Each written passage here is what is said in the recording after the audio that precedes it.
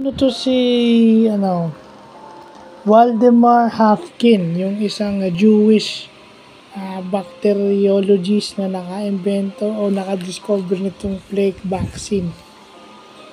Yung plague vaccine na to is uh, tip, uh, tinutulungan nitong masugpo yung tatlong klase ng plague.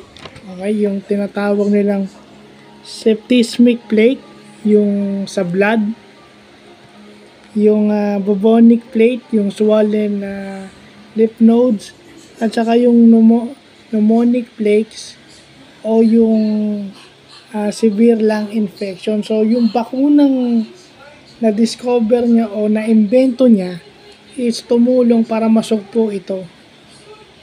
Na nung mga sinaunang panahon ay considered worst epidemic na tumama sa mundo.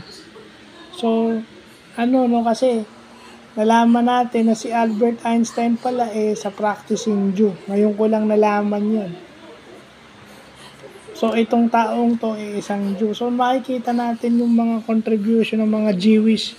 Kasi ang ang pinakakilala ko lang na Jewish is yung sa yung si Barry, yung sa ano, Start of Turin Research Project o yung sa Stroop si Barry, yung basta yung Jewish na yon. So makikita natin yung mga Jewish, yung mga contributions ng mga Jewish. Kaya sila pinag kaya, kaya mas lalo sila pinagpapala ni Lord. No, kasi nakita lang natin kay Kalat Karen kahapon. So, yun na, para ma-update din yung ating uh, uh, biology o yung ating bacteriology knowledge. So, yun lang.